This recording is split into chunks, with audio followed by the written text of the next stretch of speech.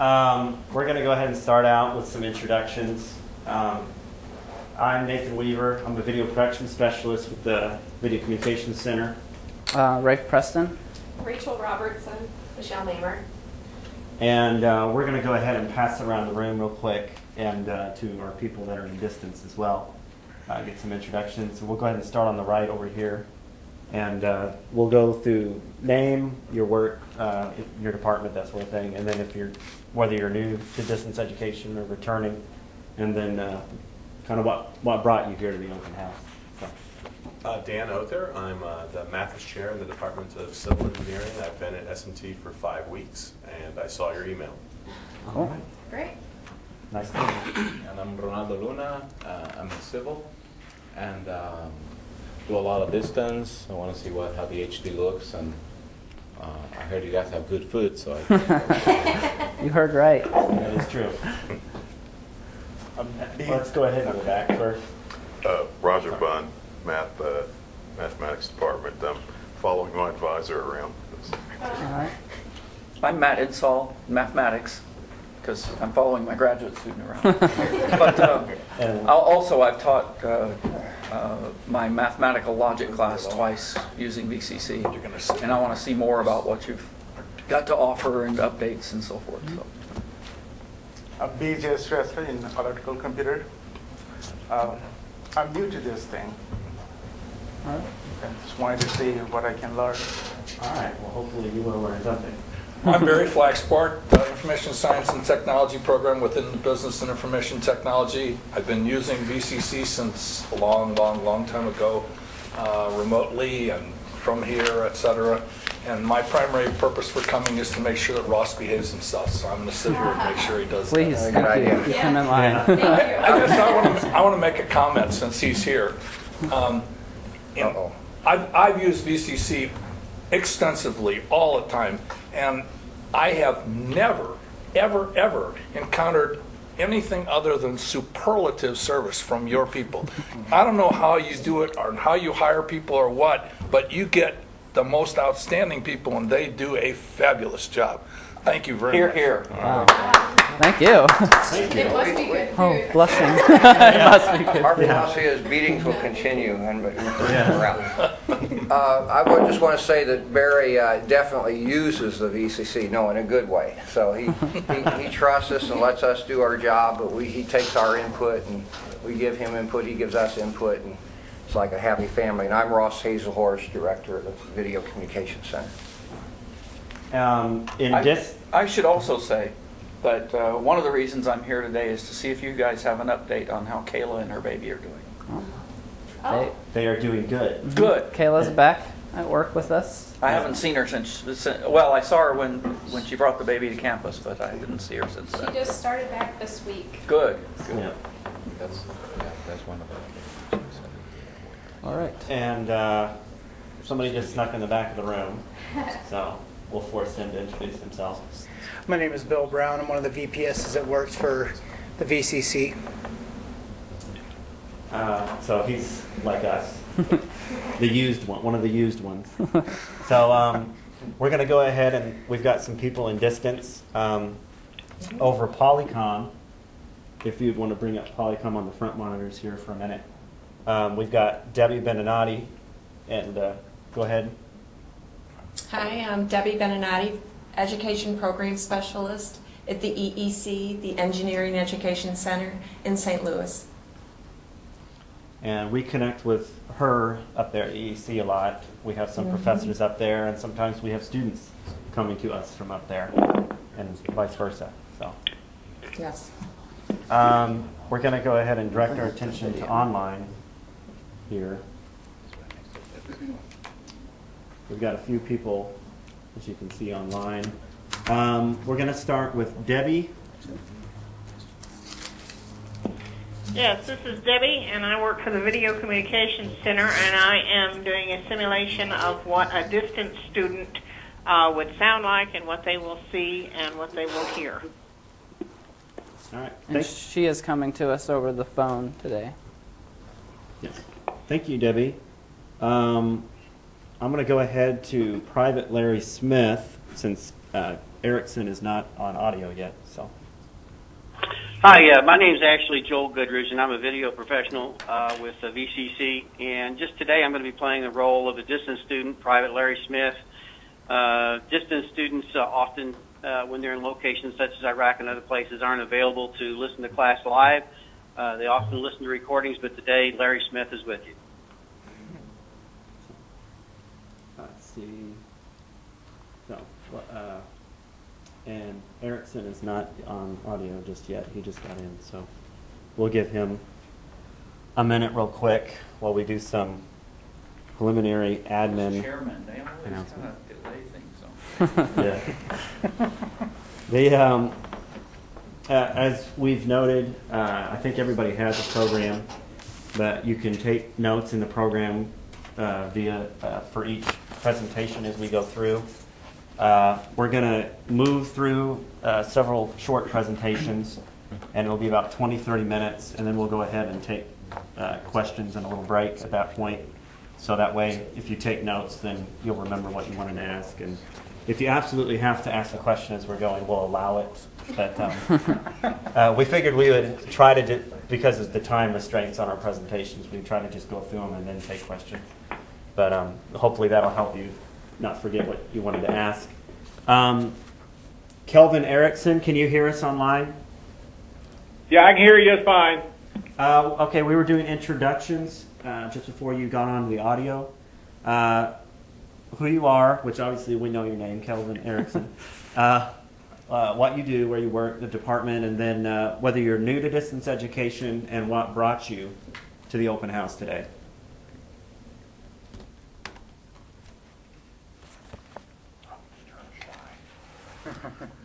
And you're up.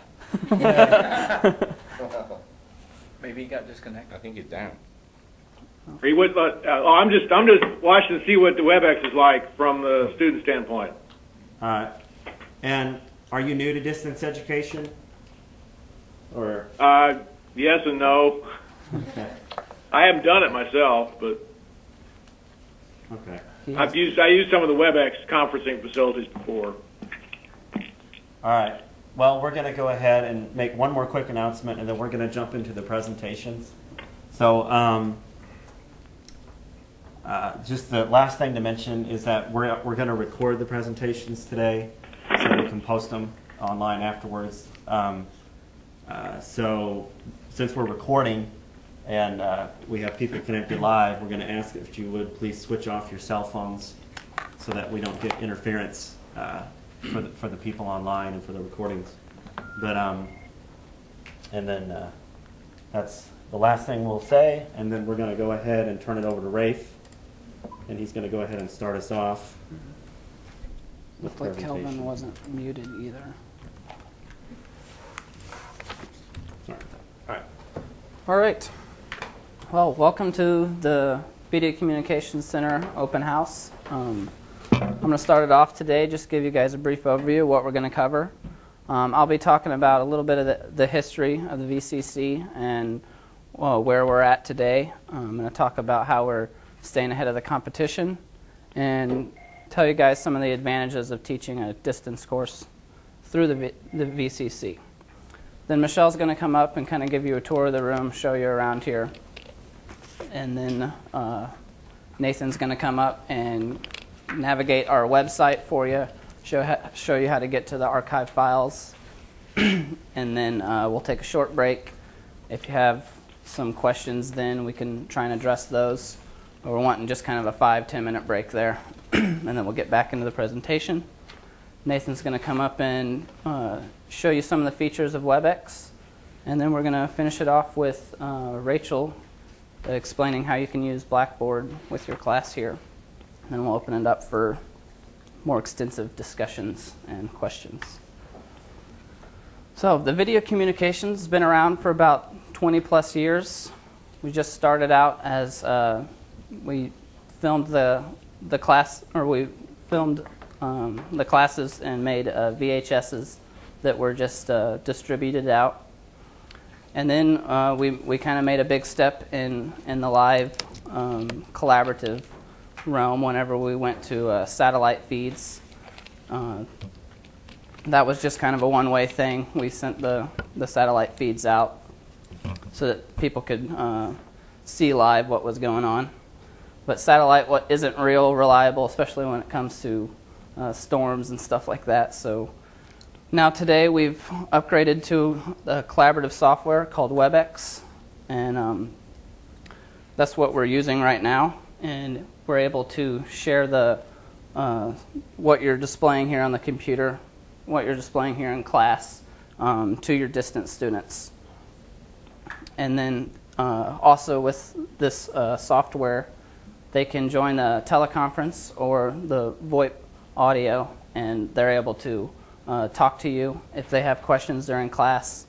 So they're just a lot more engaged, and it's uh, it's really just a real-time par- participation of your class, basically like they're here. And then at the same time, we are in the back here uh, recording the lecture, and we post those up for archiving after the class is done. So if your students can't make it live, then they, they can still view your class after the fact.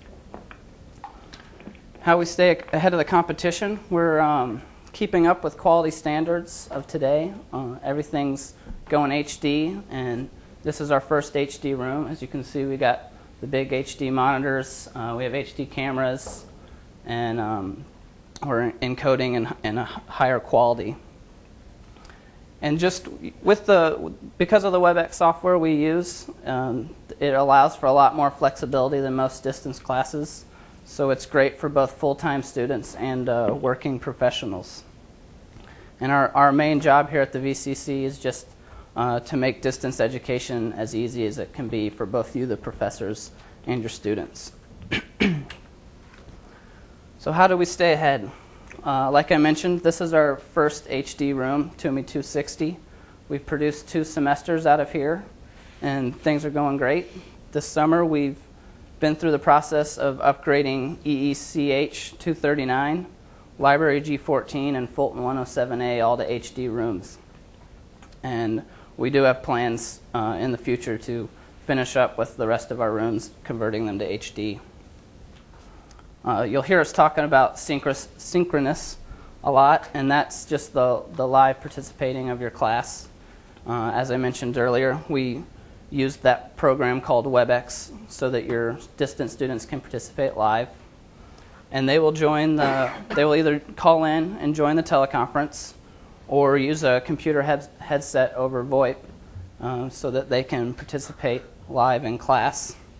And there's also a feature uh, built within WebEx so that they can chat um, either to you, to us back in the, in the control room, or to other students. And so because of this software and stuff, it's, it's just basically like they're participating live in your class like they're any other student uh, taking part in your class. And, and also while we're we're also um, recording, or not recording, we're doing Windows Media Streaming in the back so that maybe a student doesn't want to go through uh, all the hassle. Well, it's not really a hassle, but they, they don't want to go into uh, uh, log into WebEx. They can just watch the live streaming and they, they can. Um, it's just uh, an easier way to just see the class live without having to go through any of the steps of actually joining live. And I, I, will note that the live streaming is usually about 30 seconds behind the actual live class. And then um, recently, WebEx has um, made it to where um, there, there, are many smartphones now that you can use to join uh, live during class as well, as well as iPod Touches and the iPhone. And then asynchronous is the archiving that we do here. We, rec- we record in two main formats the WMV, which is the Windows Media Video file, and the ARF, which is the native WebEx file. And we can make these um, files downloadable for your students. So uh, many times we have students that um, don't have a really good, solid uh, internet connection. So this, when they're trying to stream the stuff over the internet, it doesn't work out real well. So they'll ask to be able to download your files. That way they can just download it however long it takes, and then whenever they have time, some free time, they'll watch it then. They can Also, if they are traveling a lot, then they can download it to their computer and then watch it on a, on a plane ride or something. And um, also, those downloads can be made available for the iPod and other video capable uh, media players. So here are some of the advantages of teaching a distance education class through the VCC. Um, obviously, there's lots of different uh, learning styles, but uh, as, as I've mentioned earlier, because we do both the asynchronous and the synchronous um, class, then it, it's just uh, more flexible for all those different styles of learning. But we feel that the um, having that classroom feel is an easier way to uh, for your students to learn. And even the archiving that we do still has more of a classroom feel because the class is being recorded live. So you do have the participation of your of your in-class students if you have any, and also other distance students if they want to chime in. So it's just even the the recordings that we we make just have that more live feel. Now, if you happen to be traveling, um, because of WebEx, if you have an internet connection and a phone or a computer headset, you can teach wherever you are. So you'll you would never have to miss a class if you if you're traveling. You could just log into WebEx and join the uh, audio conference and teach from wherever you are. Um, we've had many teachers that have taught from like hotel rooms and the airport and you know just wherever they happen to be. But we do realize that if you are traveling, maybe you don't want to have to go through the hassle of um, teaching in class while you're on the road. Or maybe you're on vacation and you just don't want to be bothered. So, um, if, if that is the case, you can set up a pre record with us and we'll record before your class, before the class date that you're going to miss. And we can display that uh, recording here in classroom for your on campus students if you'd like us to do that. Or we'll just post it online at, at a certain date that you want us to, and they can view it then. Now, if you happen to have an unexpected cancellation, if you get sick or just uh, miss a day, you can also set up a post record with us so that you don't fall behind on the coursework you're trying to cover through the semester. So we'll just post the, the post recording up online after the class that you missed, and you can tell your students, go check this recording out so, you, so you're up to date for the next class period.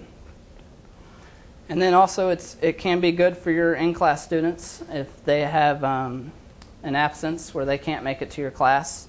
Then you can have them go and look at your the recording that we made for that day so that they aren't falling behind on your coursework as well. And um, as you can see, we've gotten rid of the chalkboards.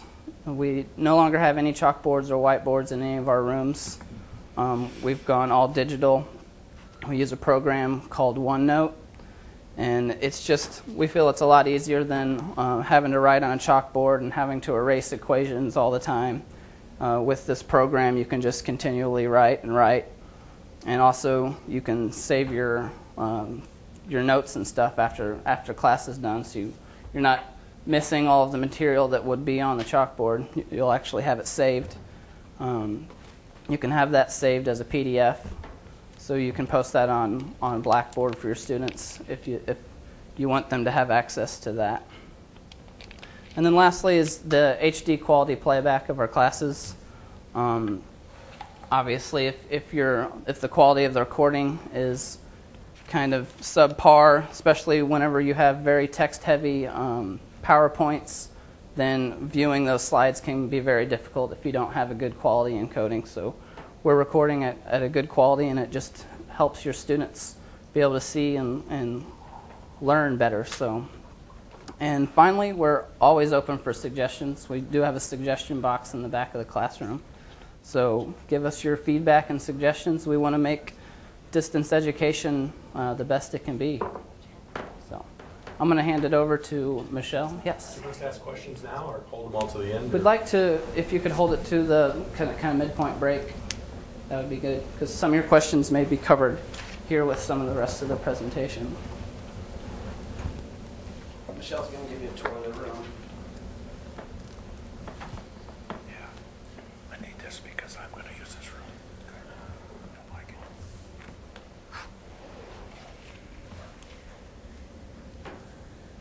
Got a chat real quick. Check that out.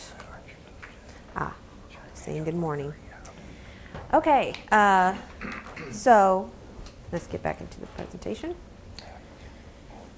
You heard a little bit about what the VCC, or who the VCC is, and kind of what we do. Let's see how it works. uh, the main difference for a video classroom is the green screen behind me. As you can see, this, uh, this gives us the ability to put your presentation behind you. The side monitors allow you, as we got to show everyone online, allows you the ability to point to your text or to a picture or there's one over here so you can go over this way if you're left-handed. Uh, this is exactly what the weatherman does every day on the news. They have side monitors that help them orient themselves to where they need to point. And uh, you may feel like you'd want to go over to the big monitor because that's the most obvious place where your uh, material would be. Uh, that's probably not advised because it doesn't look well on uh, the video. We have cameras in the rooms that help capture what is going on and that is where the video production specialist comes in in the control room. We have the ability to uh, change inputs so that uh, the um, that's being broadcast over the internet. Now, um, you may be concerned that uh, what, how can your off-campus students hear you? As you can see, we are wearing microphones, and that's how your off-campus students can hear you. Uh, same thing goes for your uh, on-campus students. If they have a question or if they uh, want to answer a question, they have microphones on their desk so that the off-campus students can hear them. Now, as you heard with the introductions, uh, you can hear your off-campus students through the speakers in the ceiling.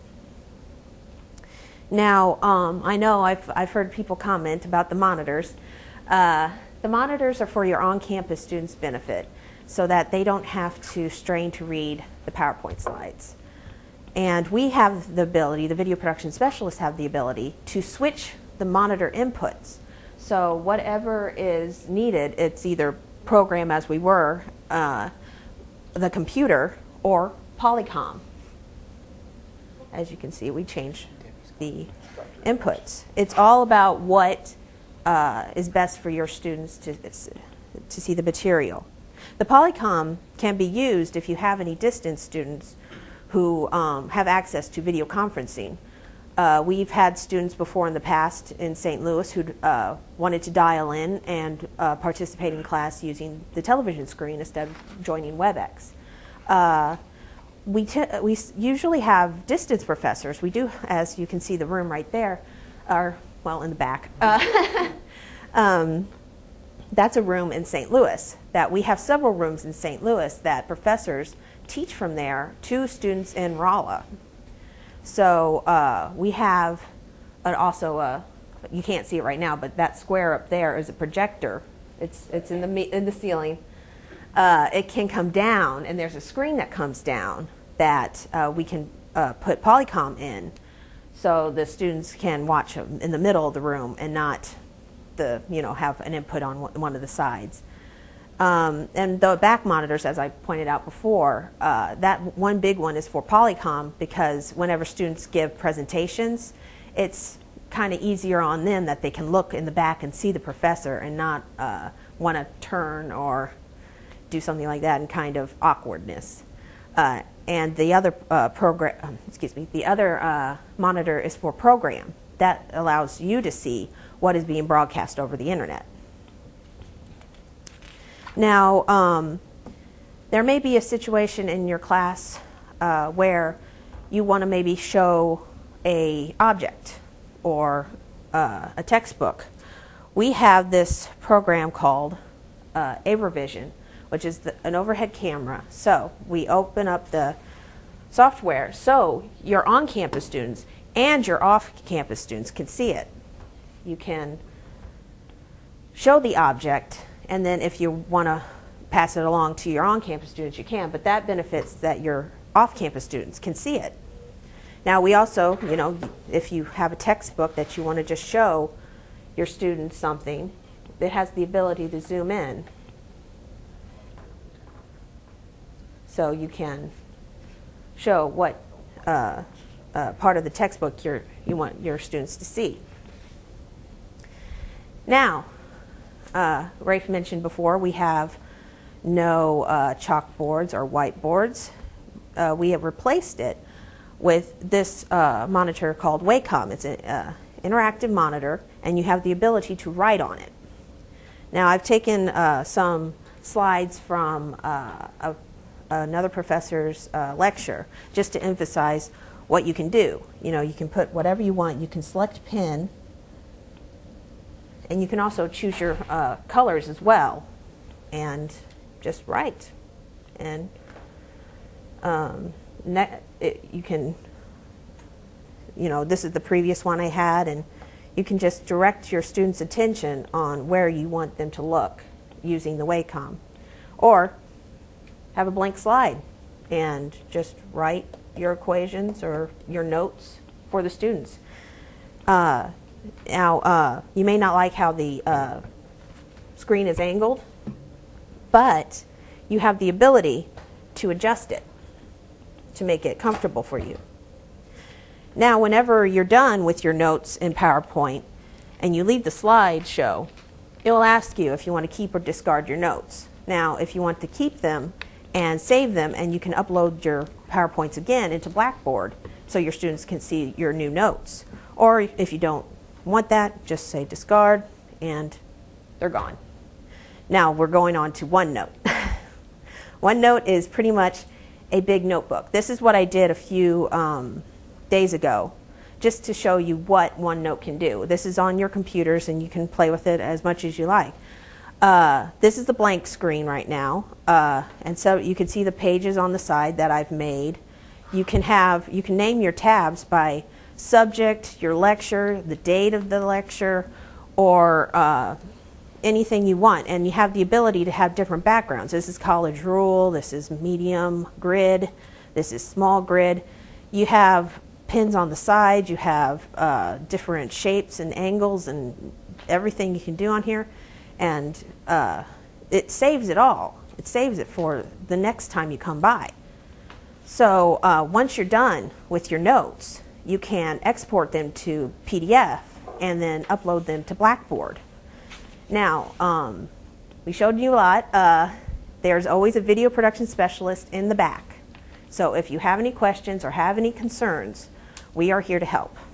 And at the end of the semester, if you're in an HD room, you have the ability to, um, well, I'm sorry, excuse me, uh, you will get a disk of uh, high quality WinMedia uh, files and also the ARF WebEx files. So um, that's a quick of what the room uh, can do for you. And here's Nathan with uh, guiding you through our website and later on WebEx.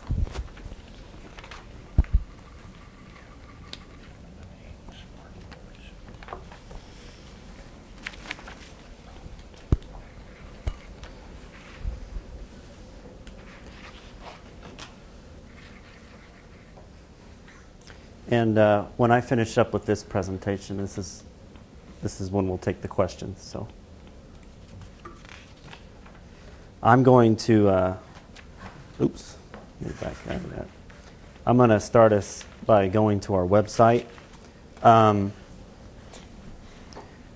I'm going to be kind of looking at the end result of what Michelle just talked about. She talked about kind of what's going on inside the classroom, and I'm going to take us to the website and look at what it looks like uh, while it's happening and and uh, how to get to things to look at things when things are live and how to look at things when when they're archived. So uh, we're going to head to our website which is vcc.mst.edu and i'm going to go ahead and scroll down here to this quick links section. And um, we're going to go ahead and start with this uh, watch class live link. And this will take us to what we refer to as the as live pages. And um, I'm going to go ahead and click on distance education under the summer semester for an example. And your students could come here and scroll down the page to their class. and um, pick out a class here by Victor Birman. And um, as you can see at the top of the page, there's kind of some course information, a course syllabus, and then some contact information for Dr. Birman. Uh, we're going to spend most of our time kind of looking down here at the bottom of the page. Uh, we're going to start here with the live streaming video. The first thing here is this Windows Media link, and that's that Windows Media live streaming video that uh, Rafe mentioned. Uh, so when class is live, your students can come to their class page here and they can click on this Windows Media link and it'll open up the, the Windows Media player and play, play the live stream. Uh, next to that is this WebEx link, which will take you to the uh, Missouri S&T WebEx site so that students can join your WebEx session when class is live and they can get into the audio conference and they can get into uh, uh, look at your presentation live while it's happening. Um, we also have here course archives. First thing is this S&T archives link, and that's going to take you to a page on our website which has the, uh, the Windows Media video recordings that were made. Um, you can also find them right here at the bottom of the page. They appear here automatically in this little table, and you can see each class is just named by the date of the lecture. And so they can come down here and click on the date that they need to watch, and then that'll open the Windows Media video recording and play it over the web. Uh, the next thing is this WebEx link, and that's going to take you to the Missouri S&T WebEx site, but it's going to take you to a different page on the WebEx site, and that's where the WebEx recordings are stored. Um, I'm actually not going to go to the WebEx site right now because we'll be looking at the WebEx site after questions and break in a little bit, so I'm not going to go ahead and click on any WebEx links right now. Um, the conference call, and you see here the 1866 number, which is the WebEx conferencing number. Um, so you'll, if uh, a student wants to join over the, the teleconference, they're going to dial that 1866 number, and then they're going to dial this nine-digit number that's after that. And this nine-digit number represents this specific class. And basically, you dial that 1866 number, and then you're prompted by a voice recording to put in your, your conference ID number, I believe is what they refer to it as. And that's basically that nine-digit specific number which gets you into your class. And so that's what this is. At nine, so you have they can always come here to this page to get that teleconference information in case they need it. That sometimes students uh, don't have a computer but they have a phone and they'll join just over teleconference, and, and that happens live. sometimes. Yeah, and the phone. Yeah, the phone. Yes. WebEx got some delay, right? No, WebEx has no delay. Windows Media Video typically has about a 20 second delay, but uh, that's just that Windows Media live stream. WebEx is totally real time.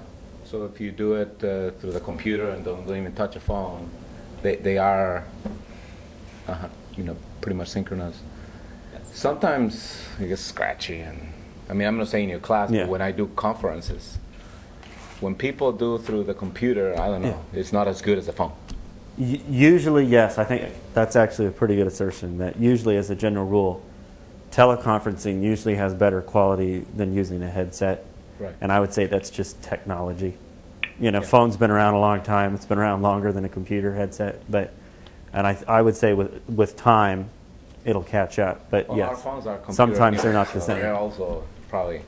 yeah, and then there's sometimes you're using phones and it's the same phones. thing because it's a VoIP. Yeah, it's a VoIP phone. Yeah, so yeah. sometimes it's the same thing.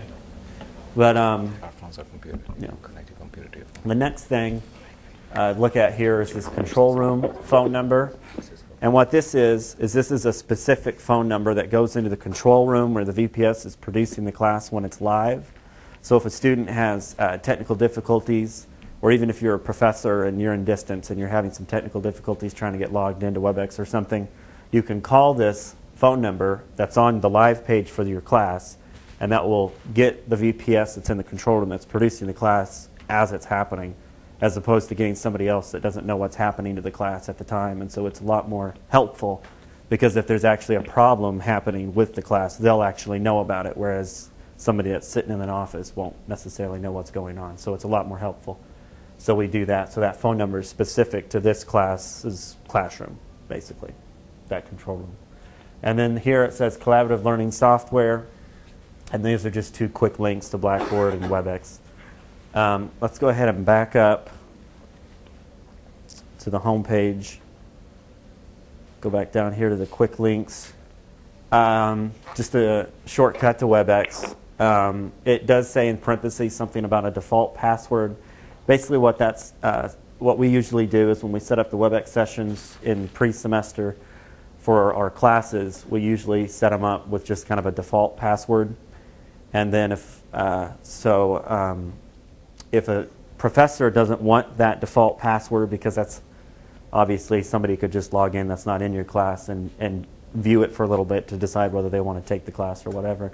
But if a professor decides they don't want that, they just want their students looking at it, their WebEx session, they could actually create their own password and post it in Blackboard, and then that way um, only their students have access to the password. But when we start out, we usually just put a default password, and then the professor can change it to whatever they want if they want to do that. Um, uh, the next link here is uh, watch archive classes, which is just going to just kind of a shortcut way to get you to the if you're just coming to the website just to get to the archives. So that'll give you links to the WebEx site that has uh, the page on the WebEx site that has the WebEx recordings and the page that has the Windows Media video recordings. Um, the download archive classes, we're going to go ahead and look at that. It says permission required in parentheses underneath it, and we're going to talk about that just a little bit. You see here at the top of the page, there's a bunch of text here, and basically what this is saying is that, um, and, and before I say this, let me explain that this is the downloads here is in reference to the Windows Media videos that we create and archive. Um, we do not make the Windows Media video recordings downloadable by default because they're a lot easy easier to just take and pirate and re-upload and whatever, you know which is very popular right now, stealing other people's videos. But um, uh, so we don't do that by default. We make it permission uh, of that is granted by the professor. And, um, and so what, what this explains is that if you're a student and you want to be able to download those videos, you're going to have to email your professor and ask for permission first. And then uh, if they get permission to do it, then they forward the, that email thread to us. And then we will email them with a username and password to be able to do that. Um, and then they will just come to this page and they can scroll down and they can click on their class and then they'll enter the username and password that we gave them and then they can get in and download those videos. But that's, that's something that we do um, so that uh, the content isn't just out there, um, your, your coursework isn't just out there to be taken. So uh, with the WebEx, which we'll get into a little bit later, we usually make those downloadable by default, and I'll explain why when we get to it. But it's uh, one, the main reason is basically because it's a, pretty much a lot harder to steal than the other ones. Uh, it's a lot more secure.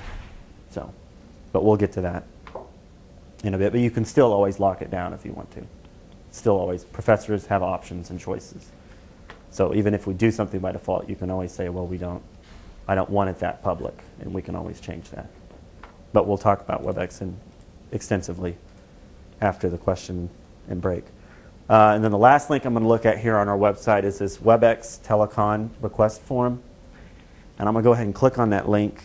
It's going to pop up a login window, and what that's asking for is my Missouri S&T login. So I'm going to go ahead and enter that in.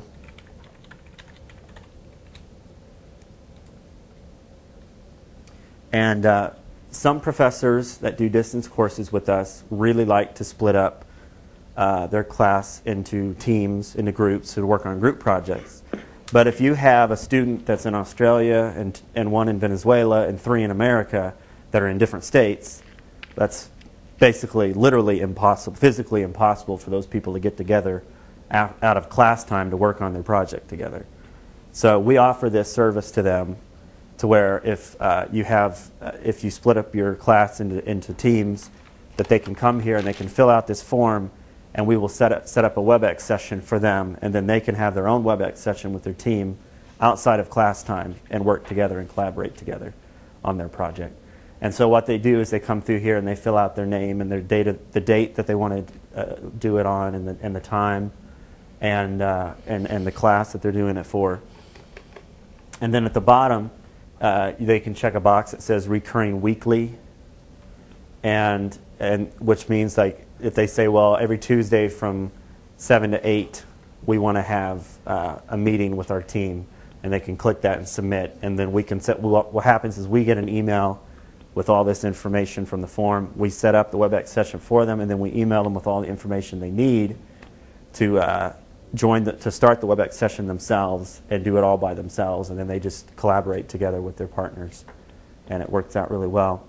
There are some professors, it's not necessary for professors to use this, but there are some professors that like to use this form uh, to set up office hours for their online students where they'll come through here and they'll set up and say, well, every Monday from 4.30 to 5.30, I'm going to be online for my distance students in a WebEx session taking questions. Just like you would have office hours on campus for your on-campus students to come in and, and to talk to you. And so you could set this up as a recurring thing every week and, and have those office hours online with your distance students if you wanted to. As I said, it's not necessary for a professor to use this form because they actually have an account we create an account uh, under their name and we can give them the login information and they can do it on their own. They can create their own WebEx sessions on their own. But um, some prefer just to fill out the form and send it to us and have them have us set it up for them.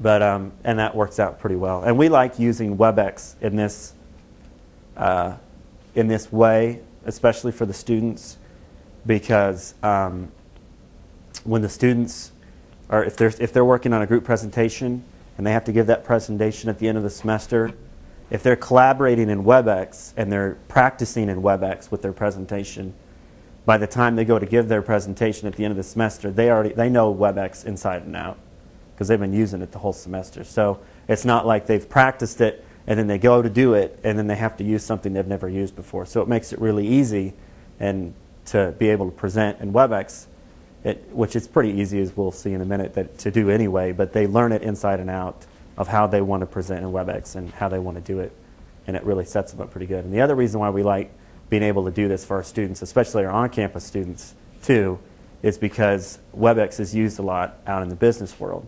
And there's actually a lot of our students, uh, distance students, are already using WebEx at their work. And so they know WebEx already. And then there's, uh, for our on-campus students, it's kind of nice because they get to learn WebEx.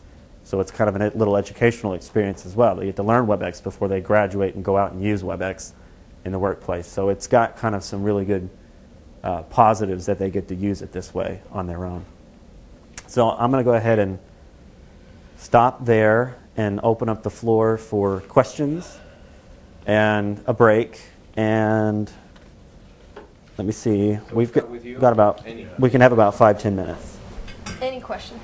Oh, I've got 10 minutes worth of questions myself because you, make Yeah. me- you make me sit here and wait, but I don't want to jump in if you No, that's fine. as well. We've actually, we could probably go about 15 minutes even. So Yeah, we've, but I we've have got 10 minutes worth of uh-huh. questions. Maybe his will cover yours. Well, what we don't answer now, we will actually have a lot more time to answer after the second round of presenting too, because we have an hour try after through that. fast. So How many VCC classrooms we have on campus? I believe the total is about up to like 12 now. I think it's about a dozen. 12. Do you have a map of where they're located? Yeah, Because- actually in the back of the room. Yeah, and there's a binder if you want Okay, on the back if you want to pick it up and look at it. I never plan well and always get the worst one that doesn't have HD. Uh, I had a question about your uh, distance classes. How many are they uh, undergraduate classes? Not very many. Yeah, We're we just most, starting to do that. yeah, we, That's we have a whole few here. different uh, philosophy. uh, I, I think. Uh, I think we have uh, MSU coming. So you're saying There's a price issue one? there, right? a big one. Yeah. I think we, Ross, how many undergrad classes do we do? Like maybe a couple? Uh, we just have the one down from St. Louis to here Buckles. and ME, and then Yeah. of course starting the MSM. Yeah. Okay. Uh, Just the- a handful. The thing with uh, Missouri State. Yeah.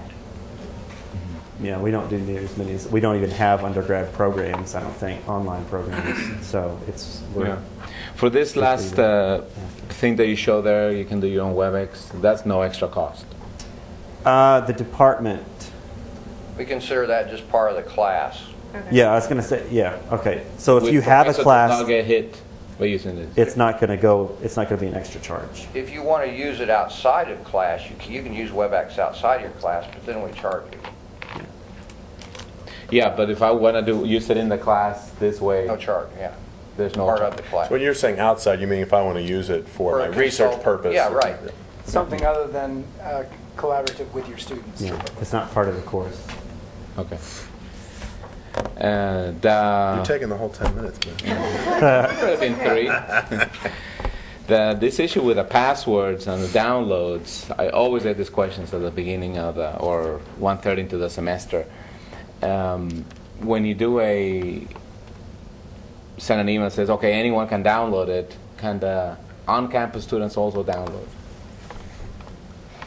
Well, we do it per student, so no.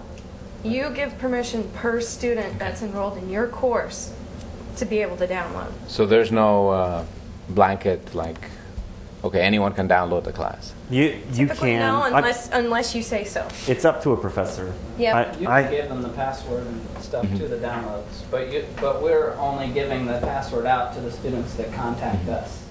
And co- conversely, the actual archive video that has no password unless we actually request to be off, right? Yeah, the li- archives. There is a there is a means of making it more secure through Blackboard, She'll but discuss that later. but um, no, there's no password. It's posted to our website, and you just stream it. The ones that we looked at on our website, yeah, there's no login or anything. But when she gets to Blackboard, she'll show a way where you can actually put it all in Blackboard. And so the only way you would get to it Yeah, that's new. would be be from through Black that. through their Blackboard, But which all, is obviously a lot all more. this time, all the private. classes that are archived, they're always available for anyone in the public, right? Depends on the professor. Oh, also, we can actually, you have to request to take them off. If a professor says, "I like to have my stuff secure. I don't want everybody to see it," we can we- we have methods of, of hiding them. Not every not not every class is on that live page. Well, I'm, I'm trying to So- prepare for undergraduate here. Okay. Because if we have undergraduates, they will not come to class. Right. And they are not mature to go and listen to the videos or. Right. So if it's always there, Yeah. undergraduate is coming. It's like two semesters We for us. Make it to where only your distance students can get access to those through Even uh, your Blackboard. even your on-campus And students I'll talk about see them. that during my Blackboard Yeah. And do we have capacity for, uh, I guess, question more for Ross, to handle how many undergraduate classes? Well, in, Because I know that uh, whenever I ask Dulce for a class, she's like, oh, we can barely fit it, you know. are you talking about the number of classrooms we have and time of day to do it? Right. Do we have a, We're pretty, we're pretty full. I mean, in ter, so I guess we're just talking about, we're, we're relatively full. Uh, we're probably running about seventy-five percent full, and, and the reason for that is the times that aren't full are the ones that people don't want. You know, Friday afternoons, early in the morning. And we have times a day that are totally booked, and we have other Right. times that are open. And they're usually not at convenient times. right, So we do have excess capacity, it's just at the times people the, don't the want time, the favorite times are all taken? Yeah. Okay. Thank you. I'm done. So I got a, a couple of quick ones. Um, since this is all being recorded, what are the copyright issues? Do we need to worry about anything when we're throwing text? Because I realize obviously use is av- allowable for academics, but now you're recording and dis- disseminating as well. So what are the copyright issues? That's always kind of an ongoing debate, I think. But uh, yeah, Let- let me- Henry probably have a better let me make answer. a comment here. This whole thing right now is sort of in a can of worms. And uh, Congress has authorized the Teach Act, you may be familiar with it, which gives faculty a lot of flexibility in what they want to do. In your classroom, right? Yeah, in the classroom. Now, this, this thing is, uh, has tentacles reaching out into distance education. And uh, the rule of thumb, and uh, this is Weeby's rule of thumb, is that if it's password protected, and I'm not dictating what level that password protection has to be, then it's okay to operate under the auspices of the Teach Act. Now, a couple of weeks ago, we got notified by Higher Learning Commission that we have to go in and reaccredit all distance education courses and programs that we have, even though we just got inspected last year. They're doing this for everybody all over the country. Uh, And uh, one of the questions that has to be addressed in there is what do we do to protect copyrighted material? And uh, I'm pushing that, and this, this is happening all over the country. What I'm going to do is push that up to legal in Columbia. And uh, I've done this before, and that's how Weeby's rule got developed. No problem. I appreciate, I appreciate the candor of the answer, Yeah. that we just don't know yet. and- We we don't know yet. And, uh, but there'll be some guidance that uh, we'll be formulating. Okay. Can, Now, your live streaming, that, uh, that should be okay, right? Because that's in the classroom essentially. Well, it But if you see, make it, depends if on you how archive we- it, that Right, might be a the problem. archive then. Right. Yeah. Now, it, So- it may be as simple as having to log on with your university ID and password. Uh, It may be that we need to provide additional password protection. I, I just don't know yet, so But if it until we turns out know. that you have to remove it somehow, VCC can probably block out those copyrighted items, right? It takes a lot of extra work. Well, it, it does, because Editing of some videos. faculty get permission to use those, and see if permission is granted, that, then it doesn't make any difference. If you don't use copyrighted material, and there's a lot of flexibility on what you can use. Under the Teach Act, you can use copyrighted material without ever getting permission. And that's part of the stuff we've got to sort out. And I'm going to do it as quickly as I can, Okay. so we don't get burned. Um, I guess, can we invite other lecturers in? And, and we're not just into this room, but via distance, so that's okay. So in other words, if I want to have a guest lecture and I want to, and I want to be here and introduce them, and then they're going to call in from Timbuktu and participate, so that's not a problem. We can get access to, We've done that. Okay. Um, Can this be coupled with other technologies like PRS, the personal response systems, or other things? Are these classrooms multi-function enabled so that we can actually use multiple pedagogical approaches? We, uh, I believe that the PRS, that's like, like with using the clickers. Yeah.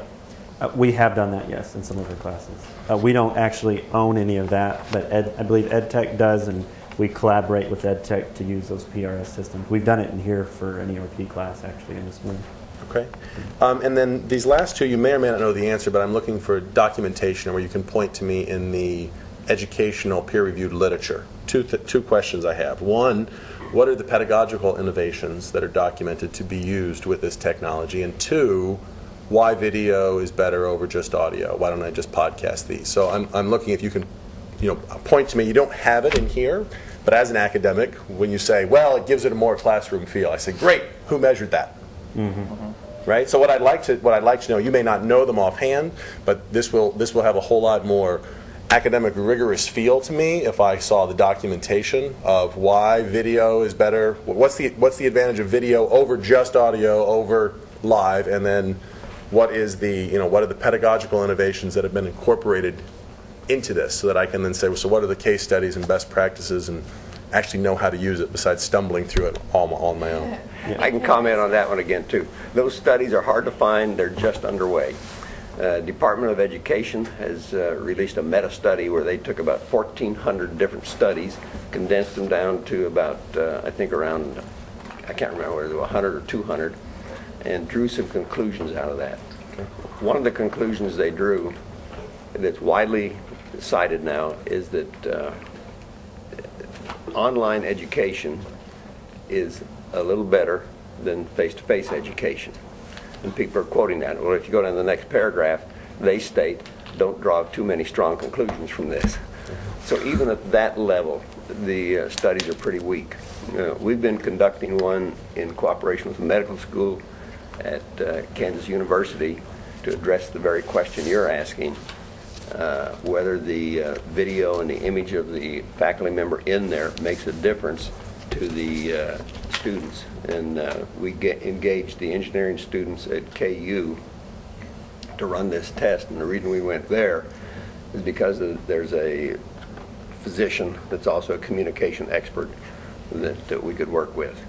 The very preliminary conclusions in there, uh, based on physiological responses, indicate that the image of the professor enhances the, well, we know it enhances the response of the student physiologically. What we don't know is if that translates into learning. Okay?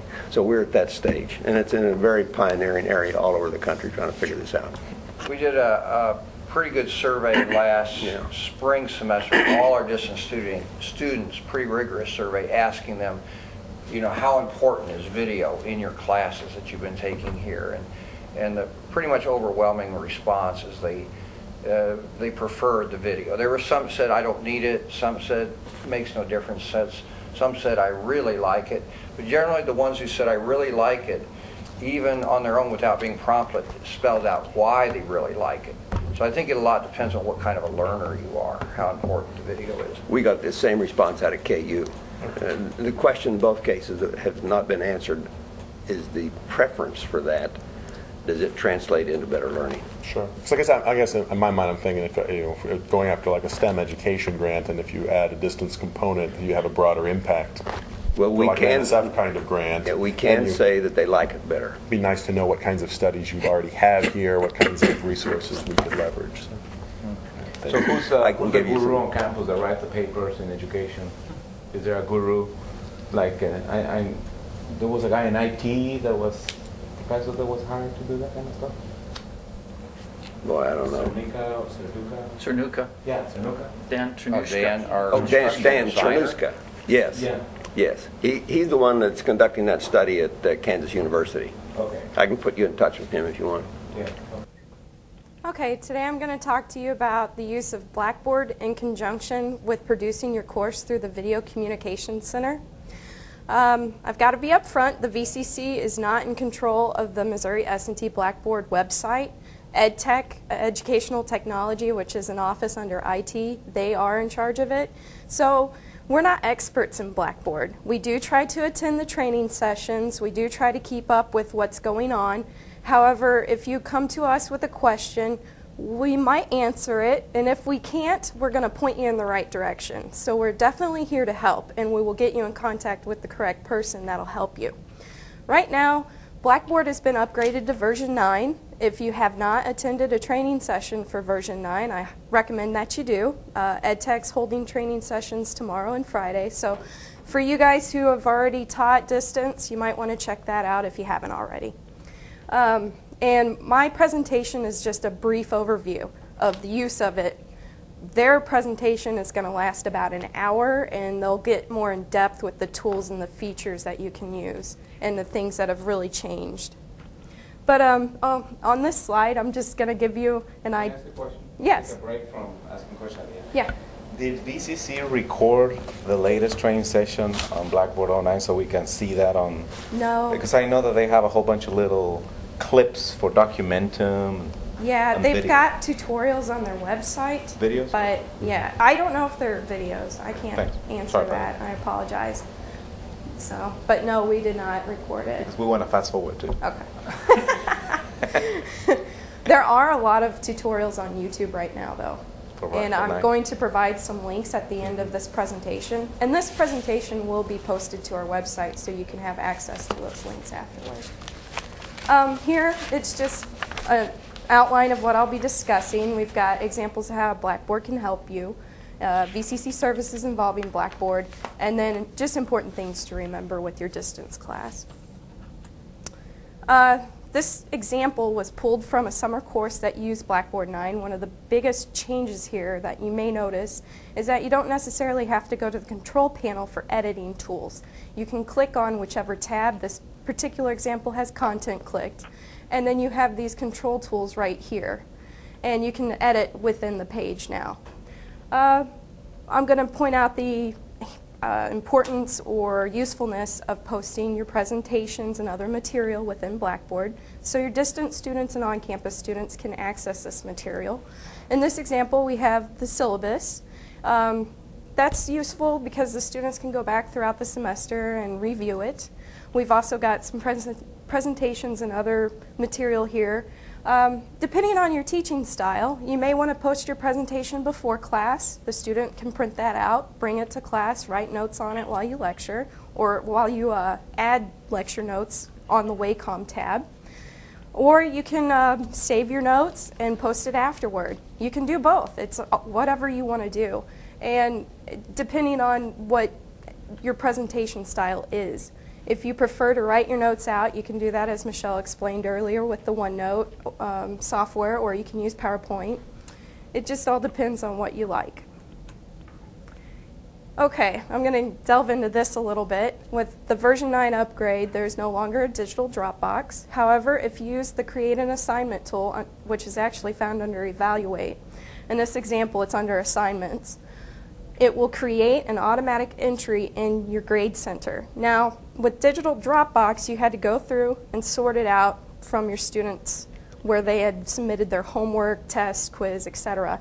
Now it's just going to make a column within the grade center for where that um, assignment was made, and then you just go in the grade center and you can grade it right there. It's sorting it for you, so it's a little more convenient. And in this example, I have test one. That's what the teacher preferred to call it. So let's go into the grade center. The grade center is found under the control panel, evaluation, grade center. This will appear. It'll be different for however you want to set it up. You can alter it to your specifications. Here is test one. Um, if you haven't graded it yet and the student has submitted it, it'll appear as a green box with a white exclamation point rather than a grade. Obviously, this professor has graded his stuff. But over here, we have our last name of the students. We've got their first name and then their username for Missouri S&T email. Um, something I'd like to point out is that you can actually send an email right here.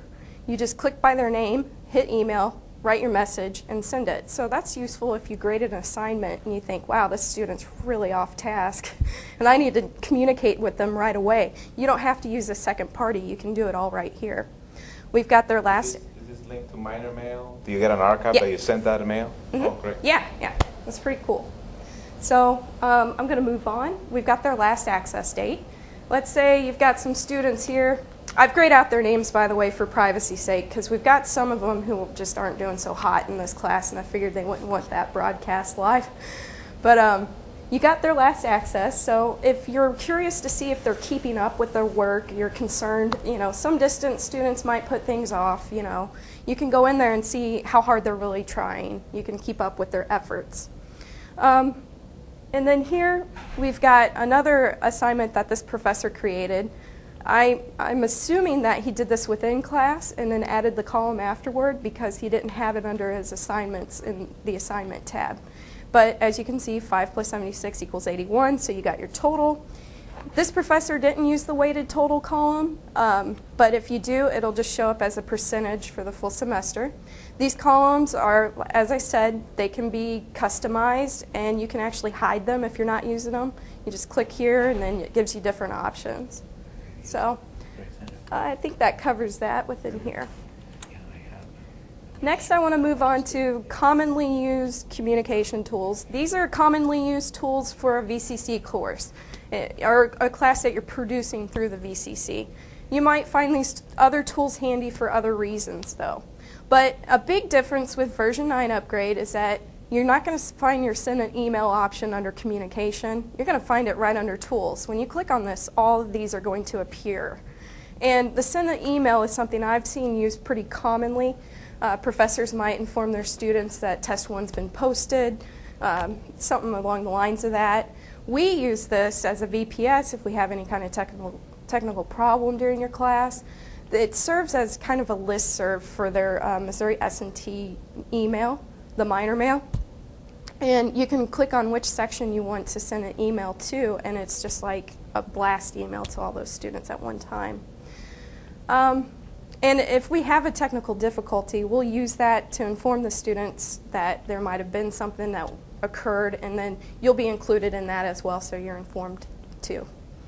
Uh, the discussion board. Nathan just mentioned how to save the chat and then you can put it in the discussion board, the chat from WebEx that is. And the students can use this to go back and reference what went on during class. Um, I've seen this used extensively in a particular course where there's a lot of on-campus students and a lot of off-campus students. And the on-campus students sometimes will bring their laptop to class, log into WebEx themselves, and then chat back and forth.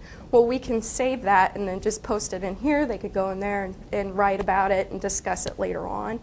I've seen professors use this. Let's say, for example, they've got an article that they feel pertains to the material in their class, but they're concerned about time. They might post the article in Blackboard and then have their students read it, and then they can talk about it through here, and the professor can go through and review it so it doesn't tie up class time. Um, and then this isn't, I don't know if this is real commonly used myself, but I just saw messages and I saw email and I thought, well, what's messages? It's actually a form of communication within Blackboard itself. You are given an inbox in Blackboard, and if you use this, your students will receive a message within Blackboard. If you choose to use this option, inform your students to keep abreast of what's going on in their inbox because otherwise they might not realize that they even have that. All right, VCC services involving Blackboard we can secure the video archives. This was something we kind of discussed. I'm going to show you how it's done. Um, in this example, it's posted under content, but these tabs can be customized as well. We could just make a link uh, tab for you rather than post it under content itself. And what we'll do is we'll go under build, build an external link, and then here down at the bottom is the link for the WebEx archives. Uh, recently, we figured out a way of doing it for the Windows Media Archives as well. So then your enrolled uh, students can get in here, click on this, and they'll get access to your video archives that way, so it's not just posted to the website. Conversion of video. This is particularly important. We want you guys to bring any kind of videos that you want to play during your class to us first. We recommend that you get the copyright uh, permission granted before so. And if it's a VHS tape, um, some of our rooms are not equipped with VHS players. There is one in particular that I know of that still has that, but we really would rather you bring it to us first. And what we'll do is we'll convert it over to a digital file and we'll place it on a server. Now, if you've already got a digital file, like a Windows Media file or something along the lines of that, we'll take that and place it on the server.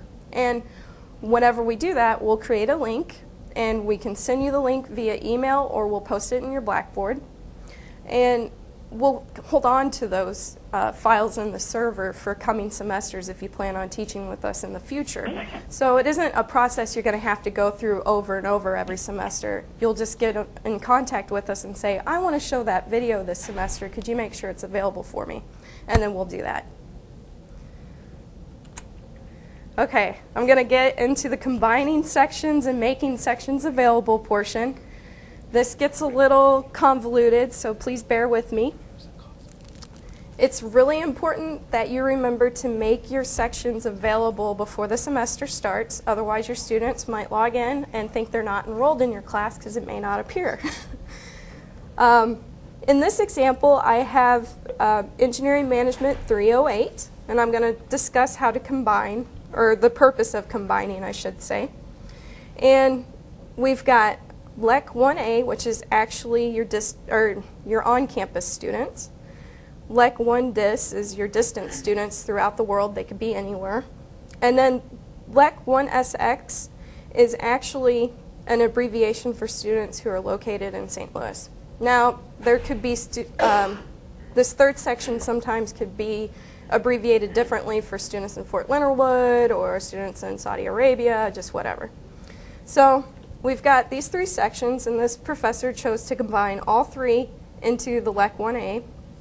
And what that means is basically she's taken the names from these two sections and putting it in here so that all of the material will be available just in this first section. So she can post her homework and all the students have access to it. And she's made that section available. Now, um, if you want only your distance students to have access to your secure archives, you're going to go ahead and combine all three so that they can get their homework, their articles to read, whatever, whatever material you want them to have.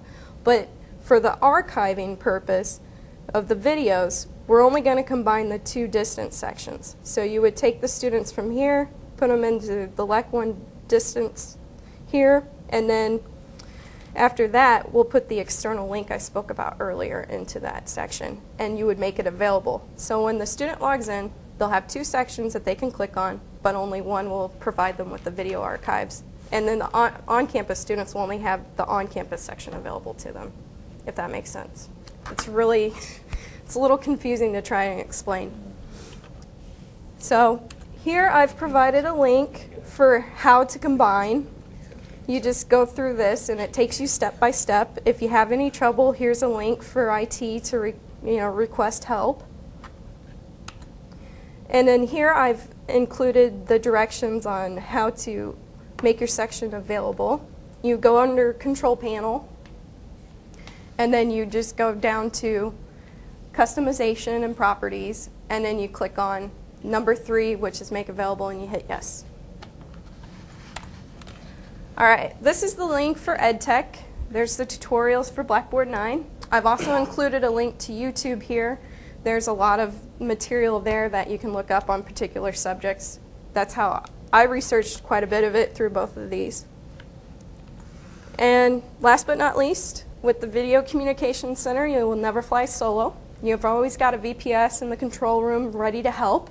We have pretty extensive office hours, as you can see, Monday through Thursday, 8 a.m. to 10 p.m., and then Friday, 8 a.m. to 4.30 p.m.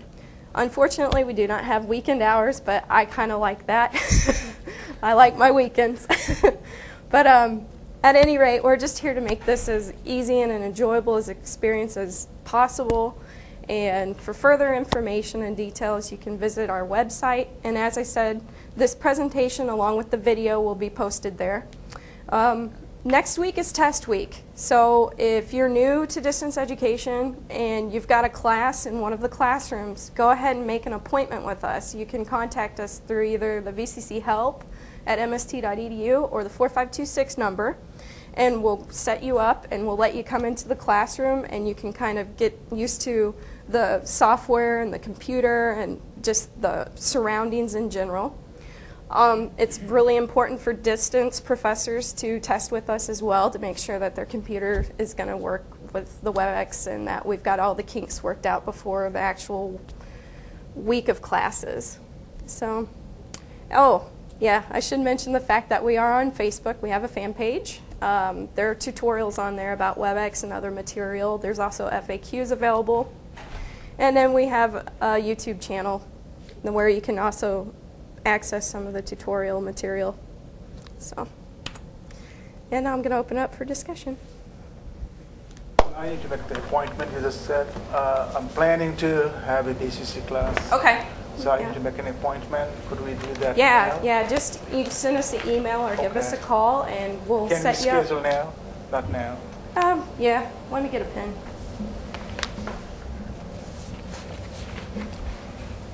It just makes it easier so that first week you're kind of acclimated Right, to what yeah. you're doing. Mhm. So, okay. My Um, name is Shrestha, S H R E S T H A. EJ at Electrical and Computer Engineering. Okay. When do you go on? What we'll do One year, you get one year break? is we'll get in contact with you Okay. and then we'll give you like an option of different times probably. Okay. And then we'll, are you going to be at EECH 239, you think? Uh, possibly. Yeah. I would guess since you're Yeah, I, located I think there. so. That's that's where Yeah. most of the classes are. Okay. Yeah, and then we'll just uh, let you come into the room and Okay. we can work on that. Fantastic. Yeah. Quality. Yes. Okay, I've got uh, four questions here. Okay. Uh, First, why so many synchronized monitors in the room? That is, um, well, my second question is going to follow from your answer, so. Well, for the students who are sitting in this first row, they have an easier time reading these monitors, and whereas the students who sit towards the back have a better time reading those. Okay. So it's just. I kind of thought that would be the answer. I knew about the side monitors for the, Yeah, for the that's- presenter. Um, Yeah. But the next question is, can the monitors be desynchronized somewhat? Yeah. Because uh, here's an issue that I run into when I teach even a non-distance course. mm-hmm. Uh, uh, but leading into hybridized courses and distance courses, um, students don't like me using the computer at the front of the classroom for a math class because it, they don't get the blackboard kind of experience. That is, with a, with a multi-panel blackboard in the classroom with chalk, I can start in the top left corner of uh, the multi-panel with the solution of a problem and go through all the details. And when I get to the end, if they have a question about the beginning, we don't have to scroll back and find what it is they're looking for. They just point and say, that's the one I want.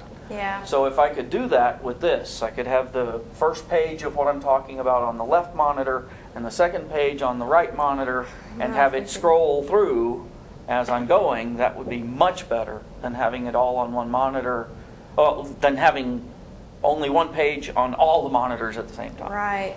And the same for the distance students, if they could see uh, two panels in their computer with one of them with the first page and the sec, another one with the second page, um, that, that would be so much better for, for long solutions of math problems Hmm. and engineering problems as well, I bet. Mm-hmm. Yeah, The equations best thing I could think of on that is, um, if you wanted to have different inputs, as it were, on different monitors. That's right. But you're writing kind of on, I mean, obviously we only The different one inputs are from there. the same, basically So- from the same input, but time, time delayed. um, is I would say the best thing that I could think of off the top of my head would be that you could plug your laptop in and work on two computers. Start on one on the laptop and then work your way over to the to the podium computer or vice versa. And then you would have some of them Yeah. would have the laptop and some of them would have the the podium computer. And so that would have two Right. different inputs. Yeah. Which would That- make it a little longer. That, that uh, to some extent addresses the issue, but now you don't have the whole set of notes available to save at Right. the end because they're in different documents on different machines. You could put them together if you were doing it. You'd have to now, do you that could separately put 'em later. Yeah. Later, but You'd have to zip them together because they'd be even pages here and odd pages there. I, I think we we could possibly um, Is it possible? do a, a kind of like a screen capture of the first part of your equation That'd be fantastic. and just put it on the left screen. Is that That's what you're exactly what I was thinking of. And pause that there, and then have your what your second part of the Or just equation time delay it. could do that. Just do a screen capture the You, end of the each page. the hard part with that would be coordinating with us in the back. So I mean, it wouldn't be hard, but you could say, okay, can you can Right. you put put up what I've just done and, and Yeah, or there could be an audio cue, like, uh, I'm going to solve a long problem now, and then the, the VPS knows that means to do that. Yeah.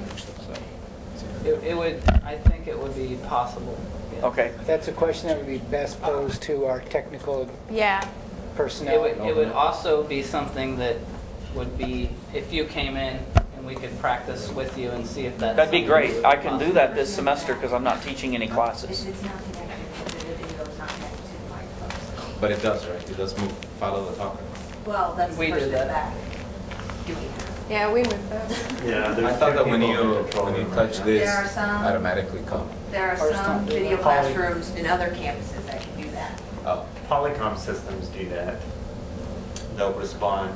We have these set up to manual though. See, now they've, they have desynchronized them to some extent. The back ones now don't show the same thing that's in the front. Mm-hmm. E- It's set up so each, all these four large monitors can each display something different all at the same time if we wish to. That's what I All different prefer. Control back there, but what you're asking for is something that they are not currently set up to do, so we'd have to talk to Roy to see about making that happen. Because they take their different inputs from different things, like that camera, that Yeah. camera, that camera, the Polycom, the computer. right. But you want four different outputs from one input, and we'd have to Actually, kind of for grade me, two would about be enough. Two. I think two would be enough. I think So what- screen capture sounds like. Screen capture's the way to We're- we're go. probably and gonna have to Screen capture with with screen a capture. delay, time delay, uh, screen display. in the, Yeah. we could screen, do a print screen in the, in the control room, because we'll be in WebEx in there, we can print screen it when Right. you want us to. And then, Right. and then we would just freeze frame it and Mhm. put it on a different input in here, and then you Right. would just keep rolling forward. So that probably would be, Four would certainly be better, but two is, uh, is fantastic at this time. You know, another totally different approach would be to uh, get a hold of Dan Cernusca and see from a pedagogical standpoint how it's best to present long problems. He's a PhD mechanical engineer, so he's very familiar with those. Yes. And, It's uh, best to have them done ahead of time. However, sometimes a student asks a question in class, and you do a problem on the fly, and it turns out to be one that takes a couple of Right. panels of the blackboard, and uh, some other student says, well, how about line two on the first blackboard? Well, it's not available if you're doing it uh, the way that this is done. Well, and With everything synchronized. Yeah, and with OneNote, OneNote does have a lot of cool features about that, in the sense that um, when you're drawing on OneNote, as you go to the bottom of the page, it'll actually extend. Yes. You can keep going down farther, which is nice. And like what you were saying, and doing things in advance, which we didn't talk about, since all, pretty much, I think probably every PC on campus has Microsoft Office, which has OneNote, which means you can actually build some of those stuff up front Ahead of time. ahead of time, and then you would just save that one note to your thumb drive or whatever, and come to class and plug it in and open it from here and go from there. And we've actually, I've actually had some professors do that. Well, I use- pre-prepared stuff in OneNote. Right. And bring it here. I use Journal Save Note. it back to their thumb drive and and take it back. I use Journal Note, which is very similar, but, uh, but not with what I guess OneNote considers the bells and whistles. But the, the thing is, even with that, when I've done it ahead of time, if it only shows one panel at a time,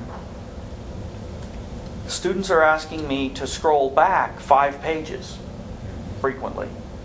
It takes time in the classroom, and then at the end of the semester, that's the main complaint. I'd rather you use the blackboard because I can't see what you did earlier in the lecture whenever we're working on something you did later. And so that's the that's one of the biggest complaints I have. And that's not even in distance classes. That's classes with a computer at the front of the classroom. The next thing, uh, sorry, this is the you third need one. a second screen. You need a do second that. screen, And I'm- absolutely. I'm, this is Kelvin Erickson. I'm planning to do that with, uh, as soon as I get one of my classes fitted with the second projector, I plan, I do, I do have to do that because I'll typically start a problem.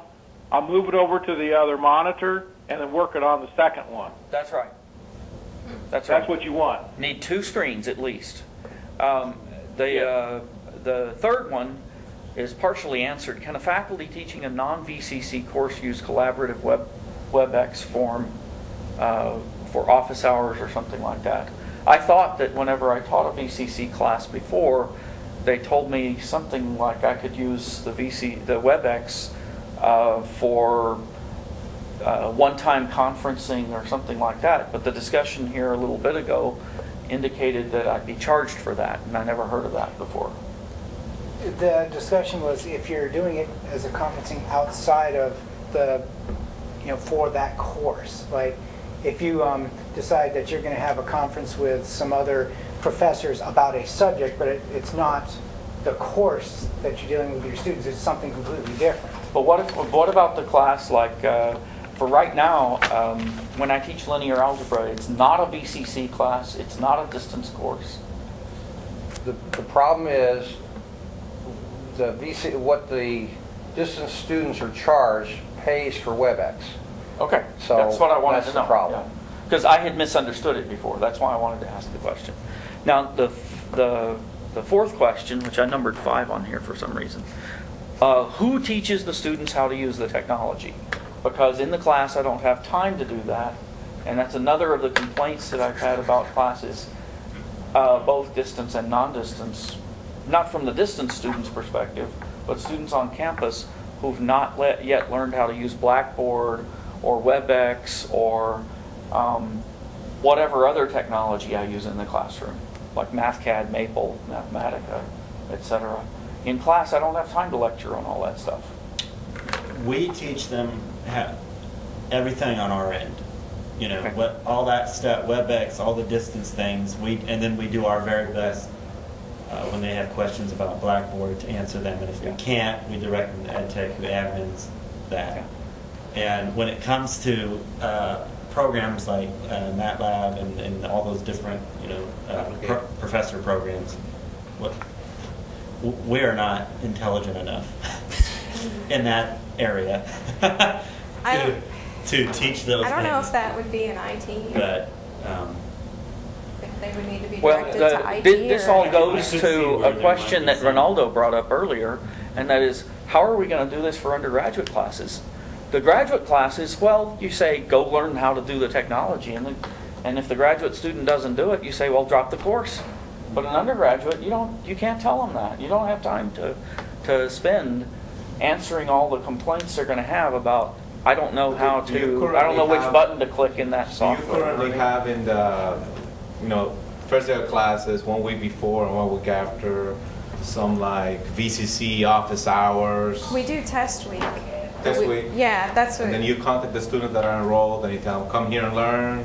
Um, on next week, the week before the semester. We do that with test distant week. students. Yeah, that's what I mean. That, that's what we're talking about here, right? Yes. And any distance student that actually shows up to test week, we, we have people monitoring the WebEx that's up, and as soon as someone pops up, we get on and we try to talk to them. Sometimes they don't answer us back whatsoever.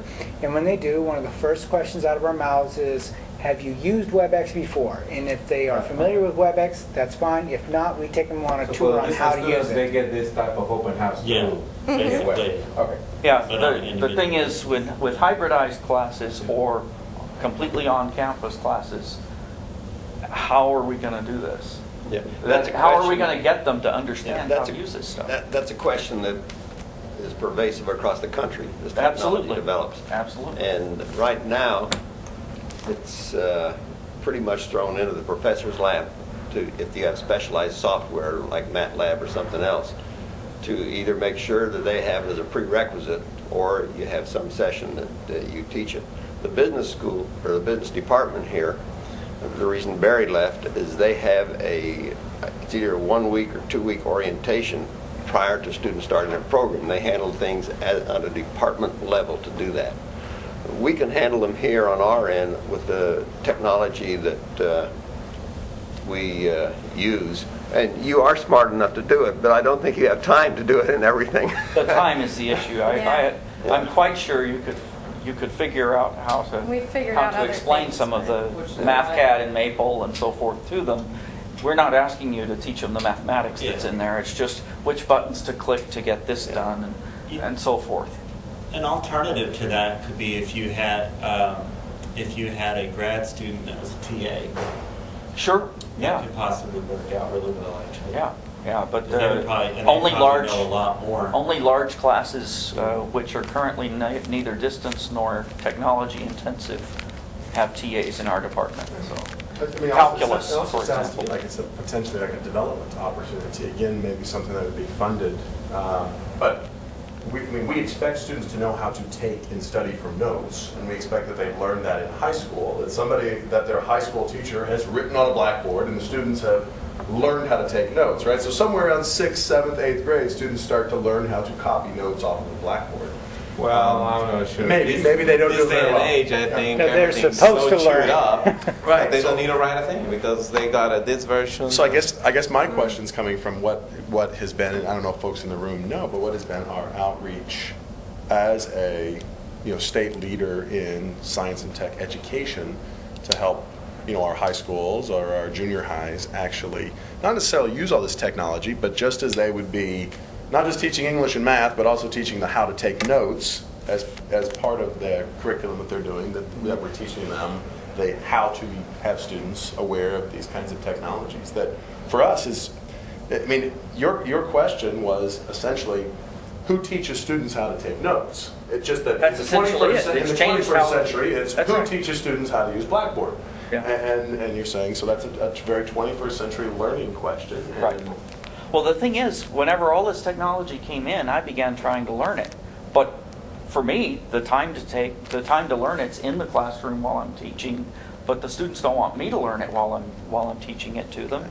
They want to learn, they want me to tell them or teach them how to learn it, yeah. and they want me to know it all ahead of time. And I don't, I didn't have time to know it all ahead of time Maybe there was that before I went into the classroom and used it. I just went in and started using stuff. And you just, uh, and to, to do that, to be learning it and teaching it at the same time, I'm already doing that with math. I can't do it with everything else as well. One thing that we've done, we've mentioned already, is that we have a YouTube channel. And we've put up. That's some- great, yeah. Some tutorials about how, how, the options and features that WebEx has to offer from a distant student's point of view and stuff. And we're, and we're not the only ones putting tutorials up on YouTube. YouTube is now just a huge source for tutorials of any kind. It's it's almost it's like the Google of, of video. So you could probably type in MATLAB tutorial Google and you'll Yeah. get a thousand videos. So, and if there isn't a video, you could even make your own YouTube channel and Yeah. try and do some sort of a screen capturing program and do so, some sort of tutorial that you could say your first first day class. If your students are like, I have no idea how to use MATLAB, you can say, go check out my YouTube page. I have a, sh- a short five ten minute video going over the features of, of how to use MATLAB. And we've also done, this summer, we created a uh, PDF document that does step by step, what is that, like a 20, 30 page on a document that's uh, for WebEx, and it goes through different topics of WebEx, whether it's joining a meeting, hosting a meeting, presenting, and things like that, and features. And, and it just kind of works really well to have that kind of stuff. And, and that might be part of it too, is just getting that kind of a, and then that one, that's nice because it's just a step by step by step, you know, and it's just kind of a step by step. Yeah. So I'll, I'll, I'll float an idea. So, um, you know, for math placement or English placement, we often administer, uh, I don't, I don't know what the S and T does, but for across the country, right? Administer a math placement test or administer an English placement test and then Yes. figure out where folks go based on their We have response one. to a skill. Right. So is that, would there be room to administer a, you know, a technology preparation? And if you, if you're not passing this, then here's where you go to get your remediation so you can. That'd be speak, right? fantastic, but it would require some department to. But I mean, I'm not, Administer it, I guess, yeah. right, but I'm floating that as an idea, right? It's a good If idea. we're saying collectively, we need students to already know skill X, Y, Z, and we're Yes. finding that they come in with all kinds of levels of preparation, and that it's not our job to teach them skill X, Y, Z, then how do we actually verify that they've, that they have the proper preparation to be able to take our kinds of classes?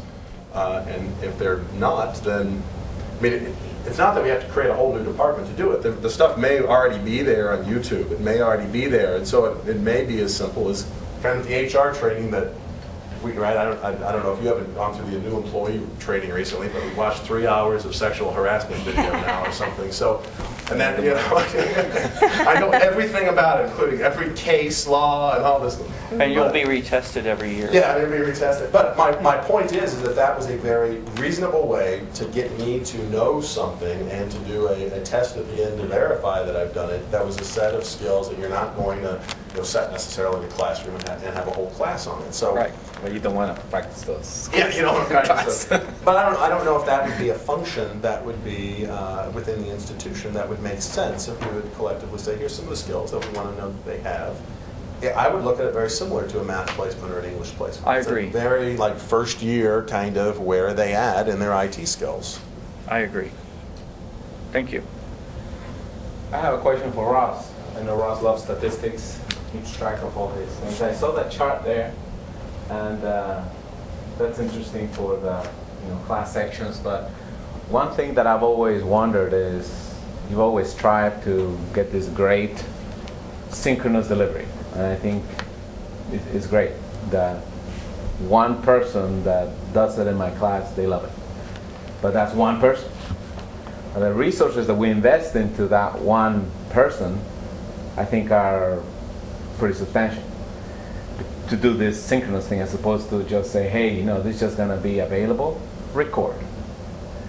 And um, it's, it's come across that uh, there's uh, the caliber that we teach, which is high quality, synchronous, asynchronous, got, we got all the bells and whistles, but is there a next level? Because I would say that 96% of my students are not gonna do it at 11 o'clock, and they never done it. They go in knowing that they have a high quality video. Couldn't that be another level of, of uh, quality that is marketed for those classes? Is that percentage that I'm quoting here real? Maybe just for my classes because they're at in the morning. But uh, how much usage of the synchronous is getting used? The, the primary use of synchronous is in the evening, from 4 to 10 p.m. That's when almost, I mean, the vast majority of students are synchronous. So sure, we're, uh, we're just doing it the same way in the morning because they, we've already got all the equipment So if a student can join, it's like it's no more effort to do it synchronously in the morning than it is later on. So we might as well do them all the same. So which courses are in the afternoon, just for my benefit? What type of courses? Most all the Management? systems engineering, uh, most, it's a variety. I'd say, what would you guys say? You, you, you produce some. Engineering and, and Mechanical. systems. and Mechanical? Do the course evaluations vary? If you take the same instructor and, and offer the class at 11 and offer the class at 8 p.m., do the, do do the ways the students look at it? Because if, you know, if it's at 11 a.m., then they can't get on it synchronously. And so I guess I wonder, have you, have you looked at any of those kinds of controls where you say, I'm going through that analysis Good right now. I don't know. Using several years' worth of data. And uh, you do see a lot of variation. It's difficult, I've only looked at it very briefly, but it's difficult for me with that brief look to say what factors influence that. But one of the uh, reasons, we've been, we've been selected, I'll back up a little bit, we've been selected by two major corporations as a preferred provider. One of them is Boeing and more recently at Lockheed. And one of the reasons we were selected was because of the availability of the synchronous delivery. Uh, We've come you know, how big a factor that is. They had many factors in choosing us, but uh, we, we're down to one in four. I mean, we're one of four schools that Lockheed was selected uh, for one degree program and one of six that they selected for another degree program.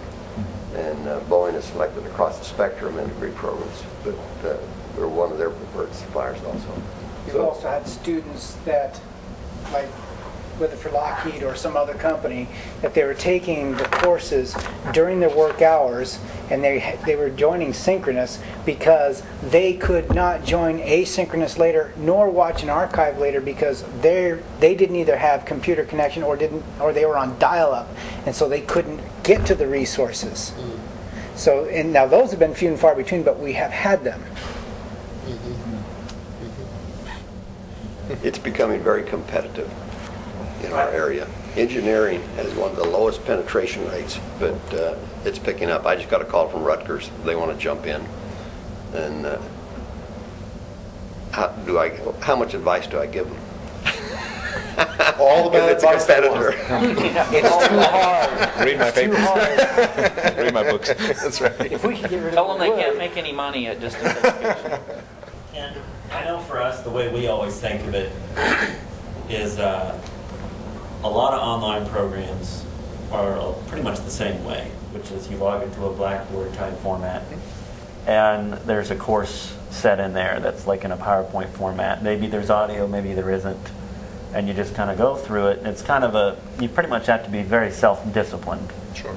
to get through it because there's no one teaching you, there's no one pushing you, there's no one, you know, it's just kind of a, I'm going to come in here and do it on my own time. Could have bought the textbook for the hundred bucks instead of the hundreds of dollars for enrollment in the Yeah. class and just read the book. And and the, I know for us, the way we always think about it and, and like it is that we get to serve more than one learning style.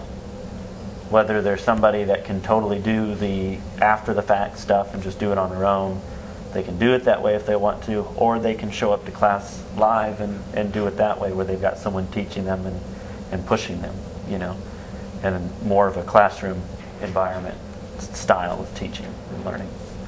A couple semesters ago, I ran a business course that was in the early afternoon hours to the evening hours. It was kind of a long course.